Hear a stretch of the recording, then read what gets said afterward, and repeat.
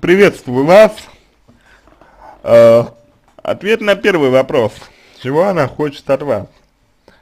Поддержки.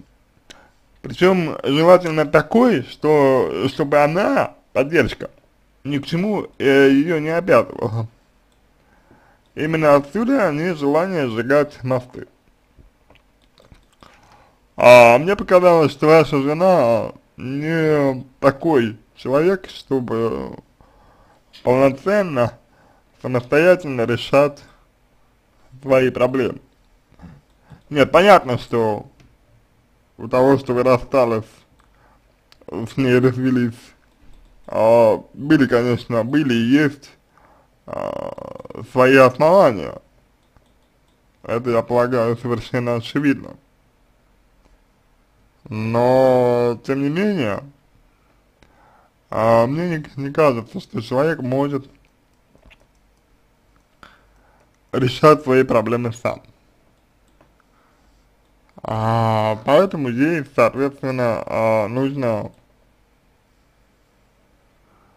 а, нужна ваша помощь. Вот. А, ну, нужна ваша поддержка. И, соответственно, отсюда у нее потребность вот быть с вами на связи. Второй вопрос. А, как она, ну, как мне относиться к такому человеку дальше? Как к тому, кому нельзя доверять, Игорь? Потому что она преследует сейчас свои интересы, вот, и вполне вероятно, что она пытается вас использовать. Вот. Что касается ваших чувств и того, что вам беспокойно от общения с ней, с этим нужно разбираться более подробно. Развод это, это всегда травма, и вам, возможно, требуется помощь для того, чтобы его пережить, пережить развод. Вот. Как главное, пережить то, что вот вы пишете, что я унижался, вот, что я, соответственно, просил ее вернуться и прочее, прочее, прочее.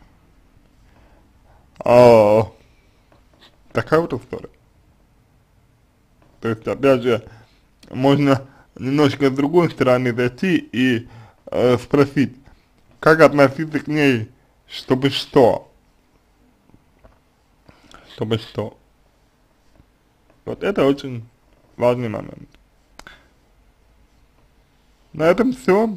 Я надеюсь, что помог вам. А, если вам понравился мой ответ, буду благодарен за его оценку в качестве лучшего. Я желаю вам всего самого доброго и удачи.